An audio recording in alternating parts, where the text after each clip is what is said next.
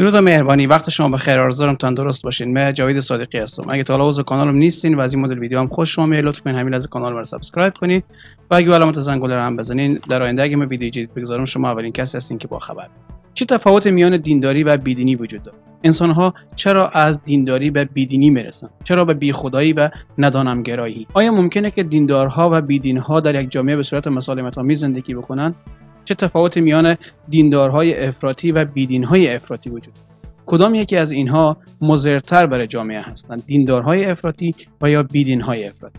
ما می‌خوایم در این برنامه به این پرسش ها و پرسش های دیگه در این زمینه به شما پاسخ بدیم و میمان برنامه ما آقای رسول عبدی هست کسی که دانشکده شریعت در دانشگاه هرات خوانده و مطالعات اجتماعی هم داره. آقای رسول عبدی هم اکنون دوره ماستری جامعه شناسی در دانشگاه کابل می‌خواد آقای عبدی سلام بر شما وقت شما بخیر. سلام و وقت شما هم بخیر در ابتدا دوست دارم اگه ممکنه یک تعریف عمومی از دینداری و بیدینی داشته باشید. خود دینداری یعنی یک احساس تعلق ایمان به یک سری باورهای ماورایی و قدسانی هست که این باورهای ماورایی طبیعی و قدسانی شامل مسائل اعتقادی میشه شامل مسائل میشه و شامل احکام اجتماعی هم میشه در اصل این اعتقادات ماورا و طبیعی بودن و قدسی بودن و آسمانی, آسمانی بودن یک اصل در کنارش و دقیقا غیر دیندار بودن خلافی هست یعنی باوری به اصول اعتقادی ماورا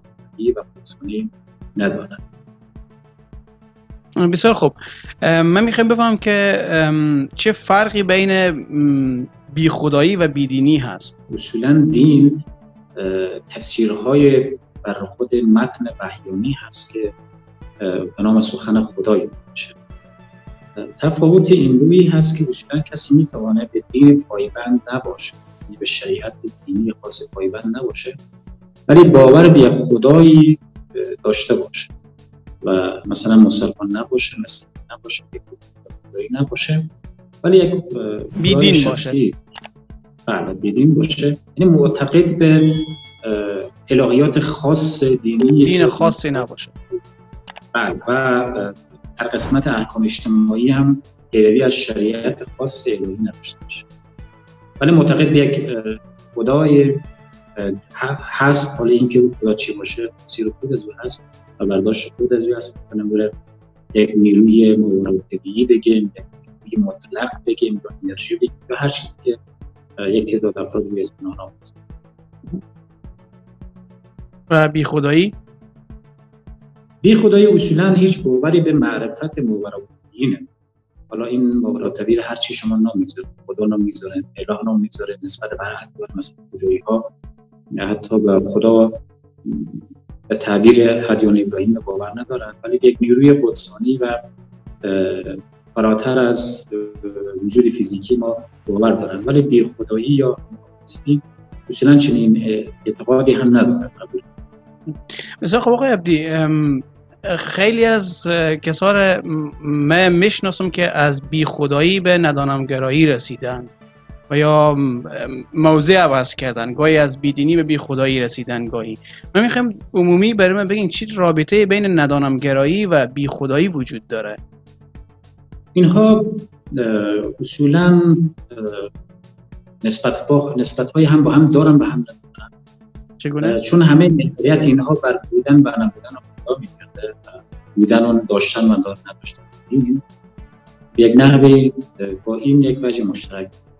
ولی ندانم انگار ما کسانی هستند که نه دیندار محض هستند که باور به اصول اعتقادی آسمانی کنند و نه هم در کنار در زندگی اجتماعی و نه هم مثل بی خدایان که هیچ باور به اصول اعتقادی آسمانی و ماورا یعنی این حالت خدا و اصول در حالت تعلیق است و این حالت تعلیق را ندانم انگار یا همون شکاکیون یعنی به هر چیزی به دیده شک, نگاه می‌کنن بله. و نه به بود خدا یقین دارن آقای عبدی پرسشی که ممکن در ذهن خیلی ها بگرده که چی باعث میشه که آدما دیندار بشن و مهمتر چی باعث میشه که آدم ها بیدین بشن؟ عوامل زیادی می‌تونه تاثیرگذار باشه. مثلا ما اگر از دینداری شروع کنیم به بیدینی برسیم از دینداری عوامل فکری تاثیرگذار هست اما اجتماعی تاثیرگذار هست عوامل اقتصادی تاثیرگذار هست عوامل فرهنگی تاثیرگذار هست حتی عوامل جغرافیایی تغییر محیطی تغییر مکانی همه می‌تونه تاثیرگذار باشه.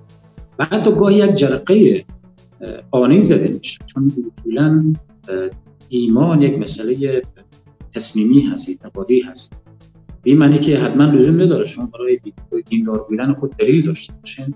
همچنان که برای بیدین بودن دلیل نمی‌خواید داشته باشین. یک یک تصمیم هست اعتقادی هست که انسان گاهی وجود اما امروزه خیلی ها دفاع می‌کنن از موقعی که دارن از دینداری از بیدینیشان.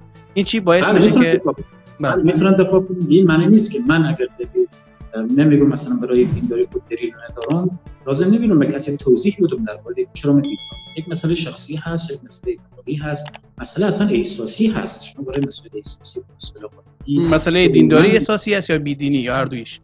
همه می‌تونه احساسی هست عاطفی هست معرفتی هست اعتقادی هست و مسئله حتی حقلی هم می‌تونه باشه. او عواملی که شما گفتن همه باعث میشه که احساس به وجود بیایه. بله. احساس بینی منظوری هست که نمی‌تونم آن چیزی که دارم رو بنان بینی یا برای خود داشته باشم و به کسی هم توضیح ندم. و همچنان در مورد بیدینی و دیدی کسی توضیح نخوام. و همچنین می‌تونم توضیحی داشته باشم و همچنین می‌تونم دفاع کنم و همچنین می‌تونم در مقابل عقیده و باور مخالف خود چلنج بودم و اونها به چالش بکشم آقای عبدی شکاک بودن و مشکوک بودن به خیلی از قضايا چقدر باعث میشه که انسان به انسان یک انسان دیندار و بیدینی نزدیک بشه یا بیدین بشه در مرحله آخر. اصل مسئله بیدینی و بیخدایی از ایجاد شک شده مثلا ایمان یعنی ایمان بر یقین است. یعنی شما به یک چیزی نگاه سیاسفید یا هست وقتی که شک ایجاد میشه اون مرحله سیاسفی یک مرحله خاکستری در مجال وسطش ایجاد میشه. و این مرحله خاکستری آهسته آهسته او سیاسفی از و او یقین یقینی که ما قبلا داشتیم برای مثلا خدا هست و اصلا ممکن نیست وجود داشته باشه شک میایه و رخنه می‌کنه در وجود ما که بله ممکن است در فلان جا خدا نباشه. مثلا حضور خدا کمرنگ شد. مثلا این جای دین ممکن است درست نباشه. این جای دین ممکن است درست باشه. مثلا ما مسئله شرور در نظر اینقدر فساد و اینقدر تباهی در این زمین وجود داره پس خدا دقیقا داره چه کار می‌کنه؟ مثلا حیوانات می‌بریم که در یک جنگل میسوزن تباه میشن و یا یک طفل این پرسش های عمومی است که در ذهن اکثریت کسانی که بیدین شدن در ابتدا ممکن خطور کرده باشه. و همین ها اگر رخ نکنه و انسان رو جدی بگیره آهسته به یک سری چیزایی می‌رسه که تمام آنچه که قبلا یقین باشه شک. و هرچی که این شک بیشتر بشه میزان یقین میره